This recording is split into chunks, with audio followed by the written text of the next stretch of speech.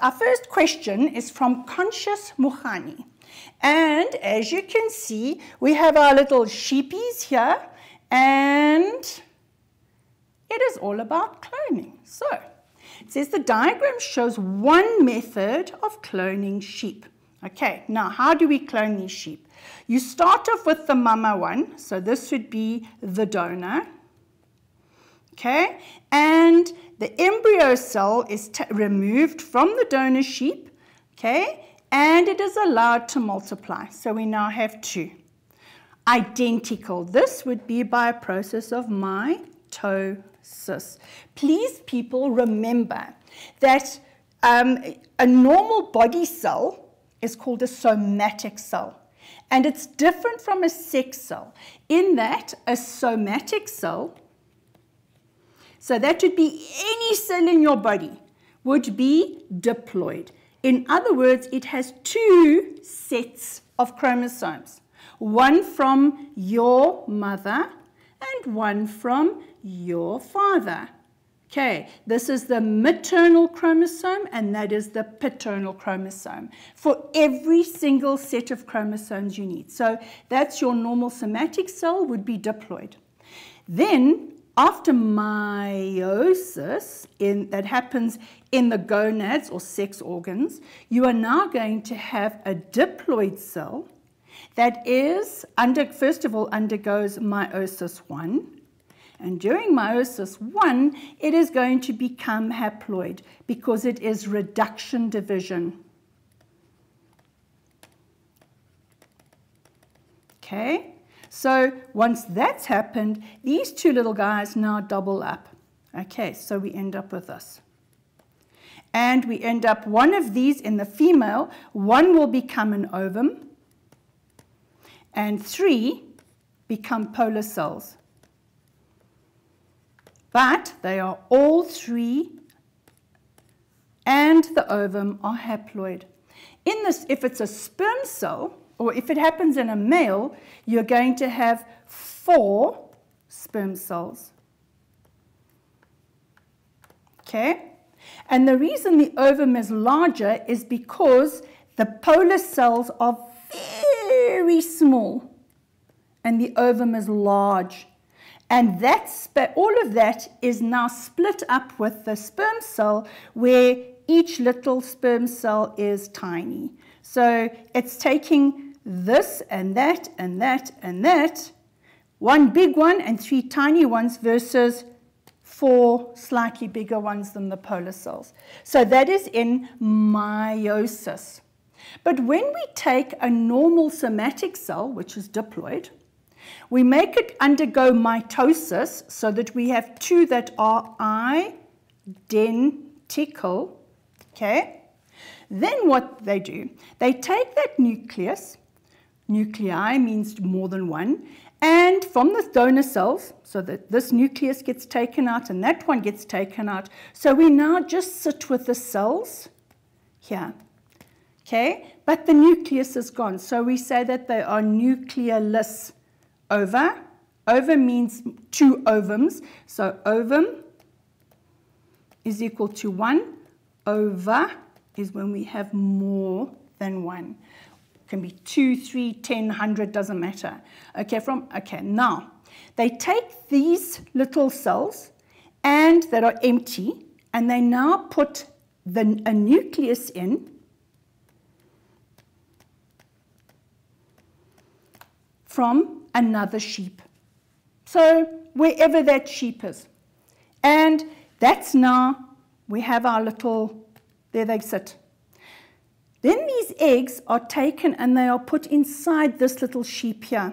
So this little sheep is what they call the foster sheep. She is just, um, she has no genetic influence on those eggs at all. Remember, the eggs come from the donor sheep.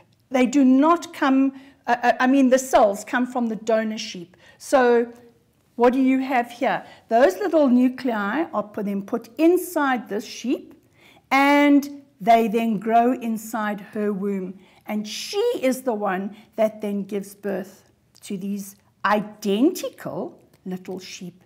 So it says, explain why, why the lambs produced by this technique are identical to each other? Well, clearly, because it was identical cells, somatic cells, that underwent mitosis. And we know that with mitosis, you are always going to have one cell that now become, after mitosis, will have two identical daughter cells. Remember meiosis, you have four identical daughter cells. Mitosis, only two.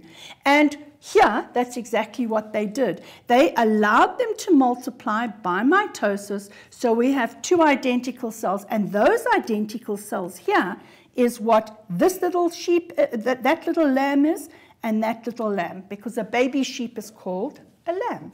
Alrighty, now, there's your two marks. Explain why the lambs are not genetically identical to the sheep that produced the foster eggs. Okay, now the sheep which produced the foster eggs, we go back here. The nuclei are taken from the donor cells and are imported into foster eggs.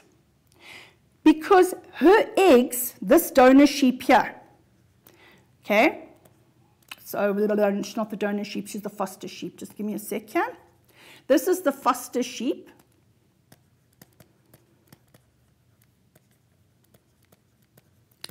They just use her egg cells. So it's, it's like her, her, um, her egg cell or her ovum, those little ova, are like little suitcases.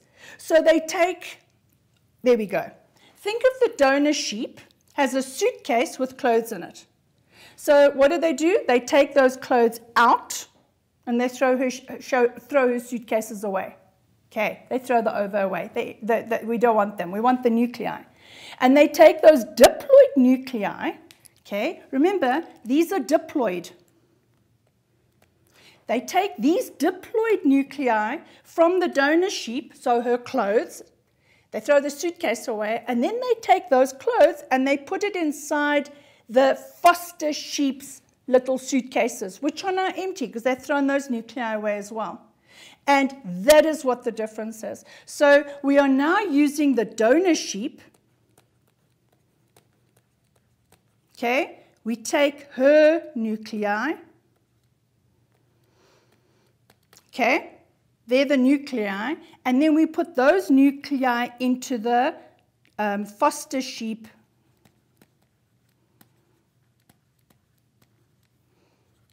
ovum. Over.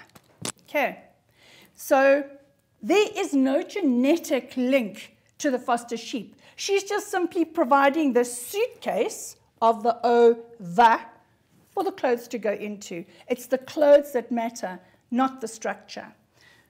But remember, clothes are the nuclei. Okay, right. Then it says, describe how cloning in animals or plants can be beneficial to humans. Now, humans can actually be quite revolting because what do humans do? Humans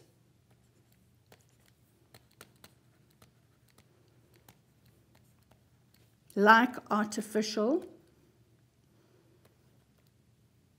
artificial um, and I've just artificial selection Okay. We use artificial selection. Why? Because we, the humans, use the traits that suit us to breed. All right, so what does that do? It means that we end up producing individuals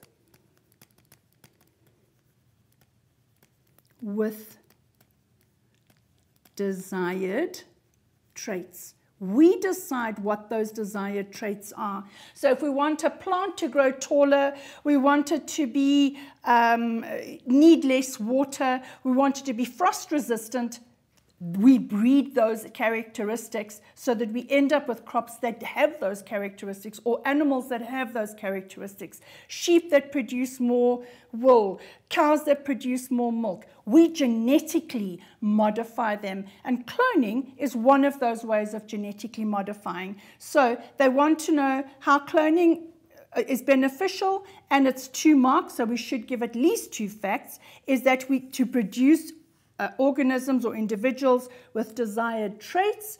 Um, we want better yields of crops. That's to improve food security. We want crops that are resistant to diseases what, diseases, okay. Um, to, we also for saving in danger species.